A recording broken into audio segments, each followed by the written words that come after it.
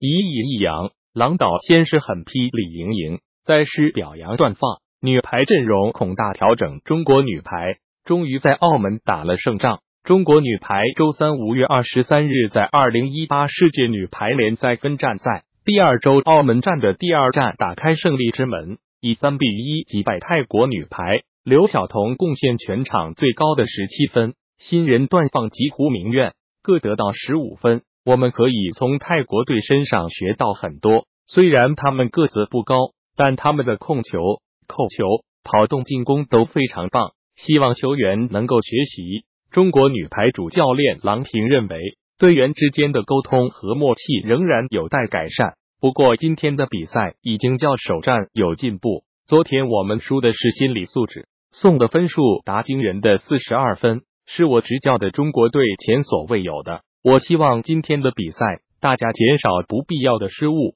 做好后防。而且，因为泰国队的进攻非常快，所以也希望他们能够提高迅速的拦防。郎平还点名表扬胡明苑的表现。胡明苑今天发挥的比较好，因为他的快攻是他的特点，为中国贡献十五分的胡明苑成为队中得分第二高的球员。郎平对他进行正面评价的同时，也强调队中每个球员都非常重要。世界联赛为期非常长，所以我们每一天阵容都有所不同，大家都得到休息锻炼。但作为中国队而言，每一个场上的球员都是非常重要。中泰双方合演了一场精彩的攻防战，这也是国家队在澳门站的首胜。